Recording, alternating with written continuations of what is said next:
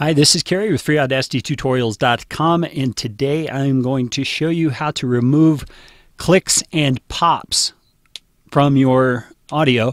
This was a question that was sent in by someone from Vietnam. I think his name is Quang Dang Man. If I mispronounced that, I am so sorry. I do not speak Vietnamese. Uh, but anyway, what I'm going to show you, I'm assuming he's asking how to get rid of sounds in your recording that you don't want to be there. Uh, there are quite a few ways to do this, some better than others, some simpler than others. I'm going to show you one of the simplest ways today, and in future tutorials, I will show you some other ways to get rid of sounds. But what I have here is a uh, sound track of a recording from a conversation I recorded over Skype where I was talking up here in the top section, up here, and my guest was talking in the lower section here. And what I'm going to do is see there's sections like right here on this upper track where I was speaking while he was speaking. And sometimes on a podcast that just garbles things up. So I want you to listen to what it sounds like. Unintended to see it, that, yeah. that the photos for. Yeah. And so and so I'm saying, yeah, yeah, while he's talking.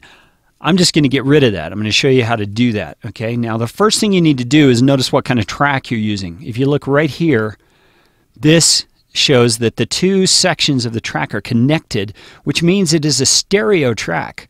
And in this case, it's a joint stereo track where each of us are in one channel. I'm in the upper channel, he's in the lower channel.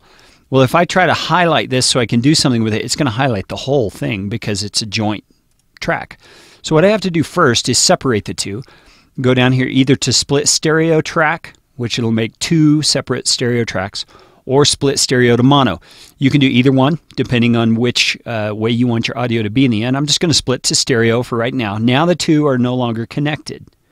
And so now I can highlight this section and do something with it. Now you may want to zoom in. You can hold down control and use the scroll wheel. You may want to zoom in so you get only that sound. I've not found it important to be that particular. What going to do is highlight that area, do edit, remove audio or labels, and then silence audio, and it's gone. And it does so without changing your timeline. You still have the same amount of time, so it's just silencing it.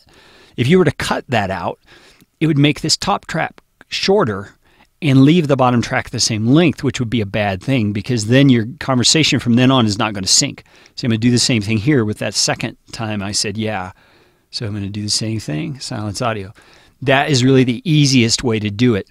Now, if the question is really about how do you silence background noise, like the hiss of your computer or something like that, there is an effect here called noise removal, which I will do a tutorial about at a later time because noise removal is a little more involved and it takes a little more know how, which I will cover in a future tutorial.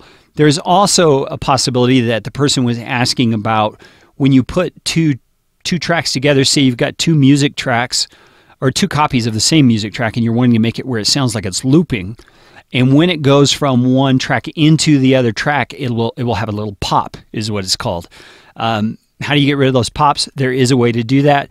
I will cover that as well in future tutorials. So that's it for this particular tutorial. Thanks for watching. FreeAudacityTutorials.com, where I do podcast cover art and website headers, as well as podcast consulting. Check me out.